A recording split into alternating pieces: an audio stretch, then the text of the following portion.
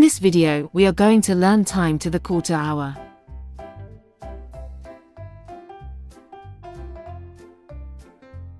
I am talking about the quarter hour. It means the hour hand is between to the hour and the minute hand the long hand is always on the 3. It's always one quarter past whichever hour. This is the one quarter, two quarters, three quarters, and four quarters. The one quarter is 15, 5, 10, 15 after. So the 15 after is whichever hour it is. We say quarter hours in different ways.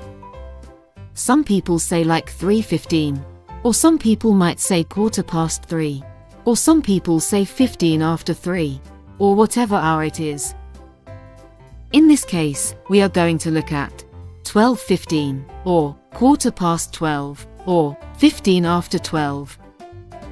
If we start at 12 o'clock, so the big hand is turn 3, the 15 after. The little hand is just a little bit past the 12. The little hand comes about the quarter between 12 and 1. 5, 10, 15. So this is 12, 15, or quarter past 12. Let's do 8, 15. Well 8.15 we will basically go round and round and round scroll like this round and round. There is an 8. 15 past 8. The R hand is going to slightly past. And the big hand a minute hand is going to be on the 15. 5, 10, 15. So this is 8, 15. Quarter past 8. Let's start 3, 15. This is the 3 o'clock. We go 15 minutes after, and the hour hand go a little bit past the 3 and minute hand, right on the 15. 5, 10, 15. This is the 3.15, quarter past 3. Let's try a couple more. About this one. What will this be?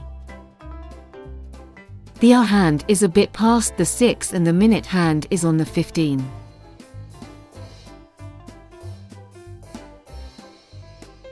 So in this case, this would be quarter past 6, or 6.15. Number 2. If the hour hand bit past the 9 and the minute hand is on the 15.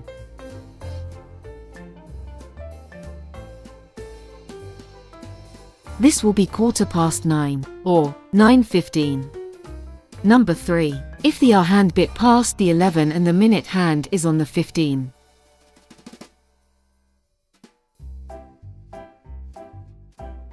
This will be quarter past 11, or 11.15. Number 4. If the hour hand bit past the 2 and the minute hand is on the 15.